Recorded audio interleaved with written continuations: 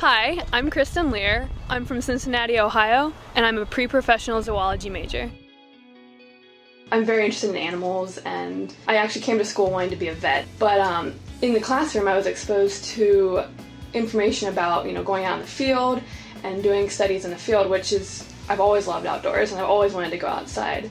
So that sparked my interest in doing field work instead of going to vet school. One of the first places that I was actually introduced to freshman year, first semester, was the lab of Dr. Jed Burtt. His lab is um, basically looking at feather degradation of birds, so it's like an ornithology lab.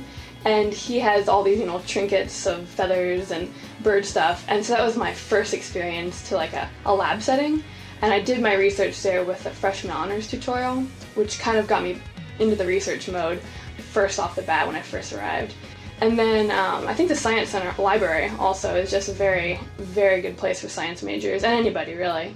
To me, theory to practice means uh, putting what you've learned in the classroom into action, and this school, Ohio Wesleyan, has given a great opportunity to me to do that. After freshman year, during the summer, I went to Nebraska to do um, a cliff swallow research program, and that was for 10 weeks, and I was there on the field every day, outside, all day long.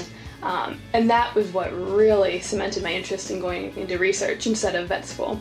And so last summer I went down to Texas um, to do a bat research position.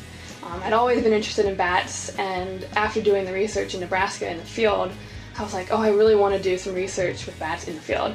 And so I did, and I fell in love with it. It's what I want to do for the rest of my life. Um, and this past summer, I went back to, to Texas to do my senior honors thesis research down there um, on bats. And so it's kind of been from freshman year being exposed to research in the first place in the lab, um, and then kind of grown from there into the, into the field research. Now I want to go to grad school for bat research. It's been a, a, long process, but I've I've learned a lot about myself throughout you know taking my classes here and going away um, during the summer to do research.